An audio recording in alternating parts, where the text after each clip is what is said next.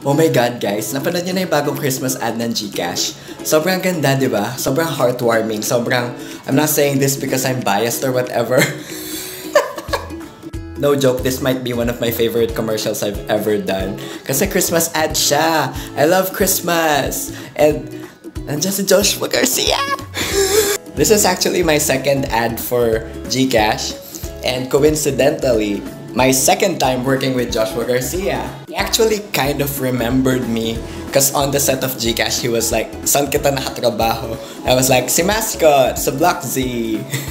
It was a very fun set. Naglolokohan lang kami, parang very light lang. May isang part doon na in between takes, nagbibigay si Direk ng instructions like, surprise nga daw namin si Lola, tapos yakapin namin si Lola. Nag-joke sa akin si Joshua na, tapos ako yung yakapin mo. Sabi ko, okay. sabi ko talaga, okay. Tapos sabi ko, Direk, noted po ah, noted. sabi ni Direk, Hoy, pinsan mo yan. sayang, sayang, magpipinsan kami dito eh. Hindi, pero yun nga, it was just very light. Everyone was so nice. Yeah, everyone, it was a great experience and thank you Gcash for for this.